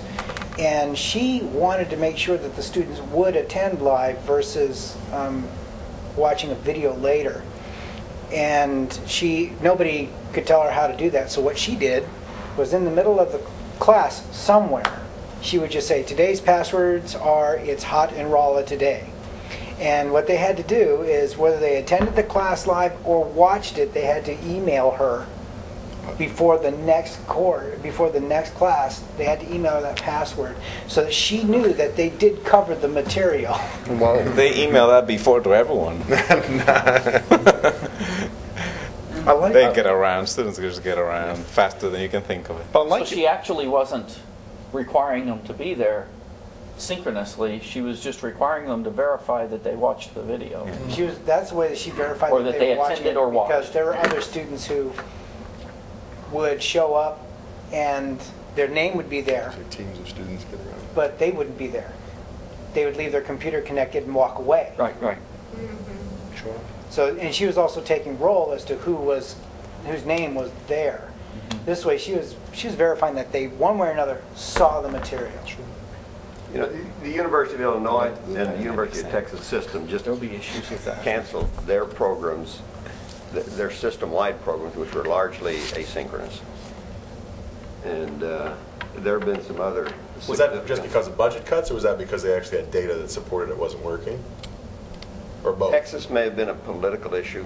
Okay. I- I'm not completely certain of that. Illinois, I think, was a uh, budget issue that their uh, asynchronous wasn't bringing in- in enough students that stayed with them. Uh, One of the most uh, significant failures early on, uh, several years ago, was Columbia University, who had some very high-profile partners with uh, Stanford and some corporation, Motorola, I think, was in there, and IBM, invested 13 million for a startup, lasted about a year and a half, and they killed it. Oh, they can I, afford I it. can't understand. Columbia that can much afford it. money in and killing it. But uh, they, uh, in some cases, it, the, a contributing factor almost strikes me as being they tried to do too much too quickly, and it was too big a bite. We've avoided that. Our our growth has been slow, but it's been very steady, even through this recessionary time. And uh, every indication that I've had, uh, it, and some of it's anecdotal, says the students like the opportunity to be in a class that's, that's synchronous and they can talk to the professor. We just picked up one from uh, Carnegie Mellon, you know, great school, that said for the first time they feel like they're part of a real class when they can be here and they can ask the professor questions. So it's, uh, it's hard to give a peer-reviewed answer to that question. Well, the sample size is small, but I mean, I, I thought Nathan's comment was really good about that this allows us to offer a variety. Yes. Variety of learning style, you know, to accommodate a number of learning styles. And I, I wonder, do we market, do we market ourselves that way and do we measure those things, right? I mean, so I mean, that, that's a really intriguing idea. So then, of course, I would say, then what's the data that supports that that idea is actually real? But it's a really intriguing idea if we say, well, you know, we're going to already be up there talking on a, a chalkboard anyway. How else can we make this a, attached to other kinds of learning styles? So I don't, I don't know. It's, it sounds like this one fellow might have some relationship with, with cognitive science and understanding an idea of, you know, what how people want to learn and what are the right kinds of styles. But that would be a, certainly a very interesting area to explore. Yeah, it, it- the data's just getting gathered. This is really a new industry, hmm. And uh, it's just coming in. It'll certainly level faculty salaries very quickly, won't it? Well, physics physics 101 can be taught by anybody across the country, so everyone will go to where they get it taught well and cheapest. And Well, well, I I- teach a lecture of 300 people. You might as well teach a lecture of 3,000 people and Yeah, just have a I- recitation section. Yeah, I, I don't think that'll be the case. Penn State claims that they could teach a class of 400 students just as easily as they can 15. And they made that claim in a conference I attended. I asked them twice during the session, well, how do you know that? And I didn't get an answer, and there's a big group, so I didn't want to press it. But they were very firm on that claim. I'm skeptical. Uh, and what makes me skeptical is the uh, competition that we've had, if you will, I can call it that, I guess, with University of Southern California, where we have joined with them in a partnership to market systems engineering Boeing. When we first started, we had about 15 students. They had about 120 to 150 because they're a much higher ranked school. Today, we've graduated the same number that they have within two students, and I don't, I can't remember who's ahead. We have never, ever marketed against them. We market jointly. When we go to the companies, we present a slide, they present a slide, alternate like that. The students voted with their feet to come over here, and one of the distinguishing characteristics is first the uh, group here and the quality of the video they produced, and we just had evidence of that last week again, despite the train wreck. but uh, we've kept our class sizes small. They've let them grow to 70 students. And there's no way, and you, you guys know this, with 70 students in your class, how are you going to pay attention to them as an individual? Right. I think a large part of the students' perceived or perception of quality is the relationship they establish with a faculty member. And uh, this thing But we also, did- somebody has to grade all that stuff that they Oh, I turn know. in. And Yeah. who's going to do that it's if you have tough. 400 students? I think that a lot of people take the concept that they're taking the classroom to the students. In other words, they're going to open the classroom up and throw it out to everybody. Or where our concept is that we bring the students to the classroom. So we're not bringing in hundreds or, you know, 80 or 90. We're bringing in what the teacher will be able to sustain. We have limits. We don't just say, well, we'll take as many as we can get. And- And some of that relationship is offline. You know, you get an email or a question from a student by email or phone. Did the student wait a week to get an answer, or did they get it the next day? I, I have had, and this is interesting, and, and I think that's where that caliber really goes up. So in the end, you can have the fancy CHD, but it's really the human thing. Mhm. Having that person behind the mirror there is huge, and uh, keeping the class sizes. I went on a, on a vacation, and I was hosted by one of my distant students. My family was hosted with his whole family in their country. Oh, yeah. Because of But the that's personal because- relationship. That's the relationship you always call them established. back. Yeah, And I'm not gonna have 40 distance, I'm not gonna be able to call 40 back. yeah. You know, and, uh, and I've gone on trips to Peru, Machu Picchu with, you know, and I meet their spouse, and uh, we also want that relationship. Yeah, And it's not gonna happen when you have 400. yeah. And that's one of the keys. I think USC probably makes more money than we do. But uh, I'd take what we've got any day over theirs. Uh, I was in, I was in Florida uh, two weeks ago talking to Lockheed. One of their technical fellows, who, who in that company, that's equivalent to a vice president, happened to be in the meeting, and we were hosting it for other students that were interested. I'd never met the guy before, but he had been through several of our classes, and you couldn't have paid him to give a stronger endorsement. He just went on and on. I just sat there in awe and listened. And he wound up saying that he didn't understand why Lockheed had, and we were in that degree were 104. He didn't understand why they had selected some of those other schools because he looked into them. And it was because of the relationship that he had established with several of the professors here. That, that same thing you're talking about. I, I didn't want to. You guys have done a great job. I don't want to step in. I, I'll screw up your presentations if I do. And thinking about numbers uh, reminded me that uh, every semester, at the end of every semester, we survey our, our distance students and get that back. We also, at like mid-semester and at the end of semester, we survey our professors as well. And all that information kind of gets tallied together at the end of the semester, and we look and we take all that into consideration. And that pretty much, a lot of that information pretty much usually decides what we do, really. I mean, if we had like, you know, huge complaints on one thing, then we're gonna we're gonna phase it out. Sure. You know, and so if we, if synchronous and having both, I should say, synchronous and asynchronous, and doing it the way we do, if it had been butchered up and down, left and right every semester, we wouldn't be doing it. But it's not, and it, and that's the that's the kind of the beauty of it is hearing that feedback every semester. And a lot of times we get, we do get complaints on things, but then they're, they're little things, and we go in and we we phase them out, we fix it or whatever, you know. No, that's, I mean, that sounds, that sounds exactly right on. I mean, I, I think, think the thing I add is that it's neat to also then think, I mean, as, as the field of cognitive science grows so exponentially, kind of it's like the next human genome project, right? And so the, the idea of being able to, even using as blunt a tool as something like Myers-Briggs kinds of personality indices or um, just the idea of well, what kind of student do you have, what do you deliver, and which kinds of students like what you deliver. Now, now you, you take the, you know, you take the, the test of, you know, some Likert scale of what did you like, what did you not like, and you start to translate it into a more, an increasingly data-driven system. Um, then you can actually start to make even you know, strategic ahead of time decisions, marketing decisions. So. And we also survey on-campus students at the end too, to make sure Mhm. that they're comfort, you know, what, you know, what they thought of the room. Mhm. Right. But, uh, right, uh, right. And yet you don't know anything about the student other than that they participated in the class, right? So I guess that's where, I, where I'm suggesting it'd be nice to start to know more about it, it's it all comes back to the whole reason why you know everybody's pushing these little like buttons on the on the net, right? And so that's all supposed to be collecting information about what you like and who you are and profiling it all together and so that put it in a database and now they're going to mine it and know exactly how to market stuff to you.